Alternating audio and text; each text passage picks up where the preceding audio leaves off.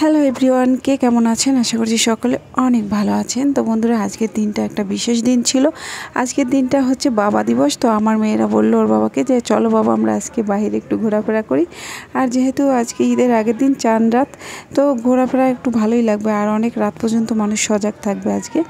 বারোটা একটা, দুটা, তিনটা পর্যন্ত হচ্ছে গরু কেনা বেচা হচ্ছে এবং চারিদিকে মার্কেটও প্রায় খোলা। তো সেই কারণে হচ্ছে আমরা একটু দেরি করেই বেরিয়েছি। খাওয়া দাওয়া করব আর হচ্ছে একটু ঘোরাফেরা করে আমরা চলে আসব। তো গাইজ চারিদিকে দেখছিলাম গরু কিনে নিয়ে যাচ্ছে মানুষে। কারণ কাল হচ্ছে কোরবানির ঈদ। সকলকে জানাচ্ছি ঈদ মুবারক। ঈদের দিন আমি কোনো ভিডিও করতে পারিনি। কারণ হচ্ছে আমার খারাপ লাগছিল, গরুগুলো কাটা হয়ে যাবে। তো সেই কারণে হচ্ছে আমি বাইরে যাইনি। আমার একদমই ভালো লাগে না কোরবানির ঈদের দিন বাইরে যেতে। কারণ অনেক সুন্দর সুন্দর গরুগুলো কাটা হয়। তো আমার একটু খারাপ লাগে, মায়া লাগে, সেই কারণে বাইরে যাই না। যদিও কেউ কিছু মনে করবেন না। কারণ এক এক ধর্মে এক এক রকম উৎসব পালন করা হয়।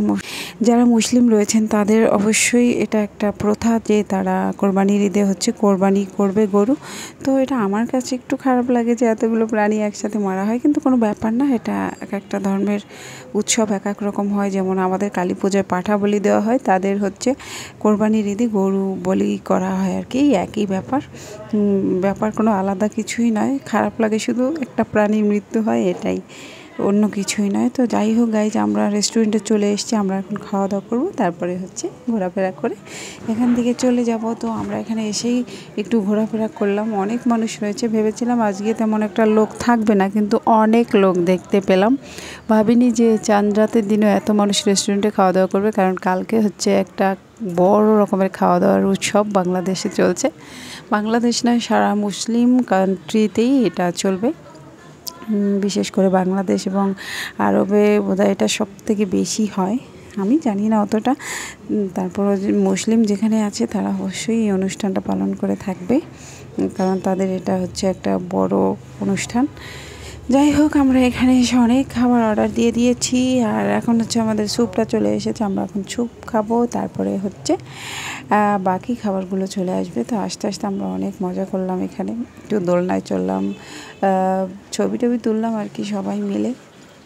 পুরো পরিবার আজকে চলে এসেছি। আমরা এখানে দেখতেই পাচ্ছ খাওয়া দাওয়া সারছি এখানে। অনেকটা সময় বসে আমরা কিন্তু এখানে খাওয়া দাওয়া করে নিরিবিলি নিজেদের মতো করে বাসায় গিয়েছিলাম অনেক রাত্রে। তারপরে আবার হচ্ছে একটু মার্কেটেও গিয়েছিলাম। মার্কেটে গিয়েছিলাম হচ্ছে একটু সেমাই টেমাই কিনবো সেই জন্য। আর হচ্ছে আমার হুইল পাওয়ার হোয়াইট শেষ হয়ে গেছে, যেটা ছাড়া আমার একদমই চলে না। কারণ রুমে এত বেশি লোক, আমাদের পোশাক প্রতিদিনই কম বেশি বাচ্চাদের পরিষ্কার করতে হয়। সেই কারণে হচ্ছে হুইলের গুঁড়া শেষ হয়ে গেলে আমার মাথা নষ্ট। কারণ খালা আসবে, উনি ধোবে, আর সেটা আগে থেকেই রেডি করে রাখতে হয়। তো সেই কারণে এসেছি, ঈদে হয়তো বা দুদিন দোকান টোকান বন্ধ থাকবে সেই কারণে হচ্ছে আগে থেকে আমি নিয়ে রাখব। আর তারপরে আমার অন্য কিছু যদি প্রয়োজন হয়, মার্কেটে গিয়ে পছন্দ হয়, তাহলে সেগুলোও নিয়ে নেব। আর বাচ্চাদের জন্য কিছু খাবার দাবার নিয়ে নেব একবারে। দু, তিন দিনে যাতে আর বের হতে না হয়। তো গাইজ আমরা এখন খাওয়া দাওয়া শুরু করব। তারপরে হচ্ছে এখান থেকে বের হব। ঠিক আছে? তো চলো আমরা এখান থেকে খাবারটা খেয়ে বাহিরে যাব। তো বন্ধুরা, আজকের খাবারগুলো অনেক টেস্টি ছিল। আমরা অন্য একটা রেস্টুরেন্টে যাই, সেখান থেকে এখানে মোটামুটি ভালো লেগেছে বেশি খাবারটা। তো এখানে এসে অনেক বেশি ভালো খেয়েছি আজকে খাবারগুলো। বিশেষ করে রাইসটা অনেক ভালো ছিল। চিকেনটাও দারুণভাবে ওরা ফ্রাই করেছে। কিন্তু অন্য অন্য জায়গায় খাই মাঝে মাঝে। কাঁচা কাঁচা থেকে যায়, কিন্তু ওদের চিকেন ফ্রাইটা অনেক ভালো লেগেছে। তো গাইজ আমাদের ওখানে খাওয়া দাওয়া এবং মার্কেটিং করাও শেষ হয়ে গেছে। বাসায় ফিরে এসেছি। এই দেখো, অনেক কিছু নিয়ে এসেছি। এটা হচ্ছে সিমাই, লাচ্চা সিমাই। আর হচ্ছে নুডলস নিয়ে এসেছি, তিন প্যাকেট। চিনি আনা হয়েছে এক কেজি গুঁড়া দুধ আনা হয়েছে। আর সাথে হুইলের গুঁড়া, যেটা আমার একান্ত প্রয়োজন ছিল, সেটা আমি নিয়ে এসেছি। তো গাইজ আজকের ভিডিও এই পর্যন্তই। তোমরা ভালো থাকো, সুস্থ থাকো। সকলকে শেষবারের মতো আবারও ঈদ মোবারক জানিয়ে আমি আমার ভিডিও থেকে এখন বিদায় নিয়ে নেব। এদিকে অহনা ওর খাবার খেয়ে পারেনি তো সেগুলো পার্সেল করে বাসায় নিয়ে এসেছে। তো এখন হচ্ছে সেটা খুলবে আর খাবে এখন রাত বাজে প্রায় সাড়ে বারোটার কাছাকাছি। এখন সেইগুলো খাবে বলছে। তো মোবাইল দেখবে আর খাবে, তারপরে হচ্ছে ঘুমাবে। আর এদিকে আমার তো ঘুম চলে এসেছে।